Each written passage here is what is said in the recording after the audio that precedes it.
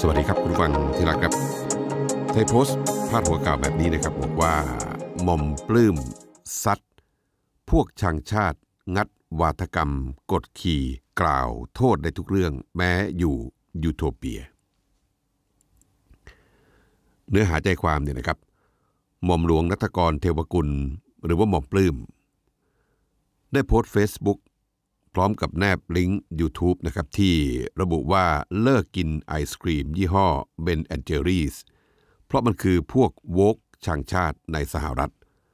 รวมทั้งความเป็นจริงที่ว่าราคาของไอศครีมแบรนด์นี้แพงจนเวอร์ ไม่มีใครเขาซื้อไหว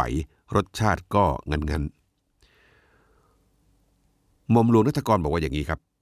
ปรากฏการณ์ปฏิเสธบัญชาติของตนเองเพียงเพราะเชื่อผิดๆว่าเป็นสัญลักษณ์แห่งการกดขี่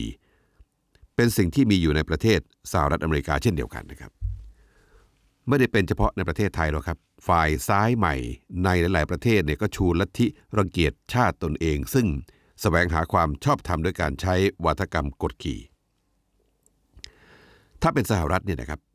ก็จะปั่นวัฒกรรมผู้ชายผิวขาวที่รักเพศตรงข้ามเป็นผู้กดขี่ถ้าในฝรั่งเศสรอบล่าสุดก็จะเป็นการปั่นวัตำรวจผู้ซึ่งเป็นเจ้าหน้าที่ในเครื่องแบบเนี่ย เป็นผู้เหยียดและก็กดขี่ผู้อพยพ โดยแนวคิดตามไดอะเล็กติก จะมีผู้ซึ่งทำหน้าที่กดขี่เสมอแล้วก็มีเหยื่อตลอดเวลา ถ้าเป็นเมืองไทยก็จะเป็นวัฒกรรม ซึ่งเรามักจะคุ้นเคยกันอยู่แล้วนะครับ ผมคงไม่ต้องอธิบายกัน นั่นคือการไปกล่าวโทษทุกอย่างไปที่ทุน แล้วก็กล่าวโทษทุกอย่างไปที่ศักดินา ฝ่ายซ้ายเนี่ย ไม่เคยมีที่สิ้นสุดในการเคลื่อนไหวแล้วครับ พอโค่นสิ่งหนึ่งได้ก็จะไปกล่าวหาสิ่งอื่นในสังคมต่อไป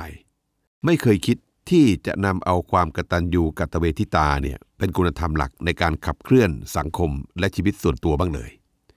ทั้งชีวิตเนี่ยไม่มีความสุขหรอกครับ ไม่ว่าจะอยู่ที่ไหนก็ตาม หรือได้เกิดในยูโทเปียแห่งใดก็ตาม เพราะว่าในใจเนี่ยมันเพ้อเจ้อถึงความเท่าเทียม ถึงความทัดเทียม ในรูปแบบที่มัวแต่คิดว่าไม่มีแต่จริงๆ แล้วมันมีอยู่แล้ว แต่ดันไม่เคยหัดที่จะมองให้เห็น ฟัง Ben Shapiro ซัด Ben and Jerry ครับ สมควรโดน Ben ด่านะครับ